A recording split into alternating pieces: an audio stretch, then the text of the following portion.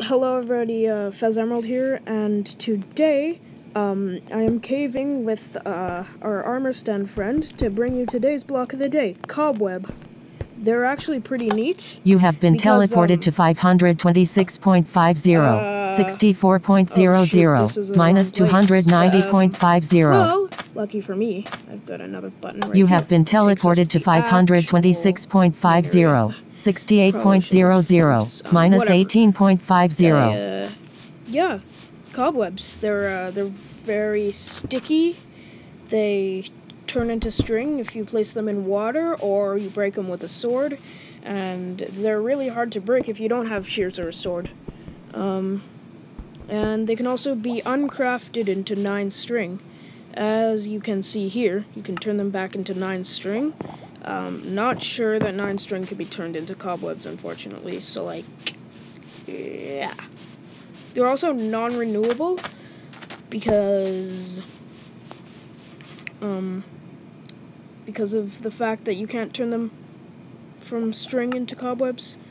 So yeah, the cobwebs are actually really like they can be used for all sorts of traps because they slow you down and they're like incredibly hard to break, especially if you're already in it because the game makes you mm, uh, break stuff slower while you're falling, and that includes falling through a cobweb. And uh, you you may you may also know them as webs, depending on what version you play. I'm not exactly sure which version calls a which. I'm pretty sure Java and Bedrock call it cobweb. However, so like if if you're one of the like main players of Minecraft, then you'll know them as cobwebs.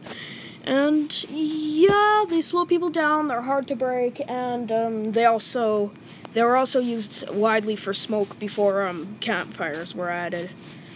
And um, good for traps, trapping your friends, and inside a non-renewable thing, thingamadoodle. Yeah, unless there's some renewable way to get cobwebs that I don't find out about until after I record this video. Yeah, they're non-renewable.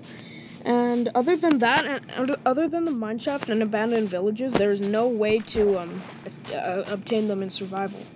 So I can't craft them, can't really do anything with them. So like, just in case you plan to have something and you don't want to use a campfire for a smoke, or you want to put a set a trap, then just keep all just use shears on all the cobwebs so that like you can actually save them for later.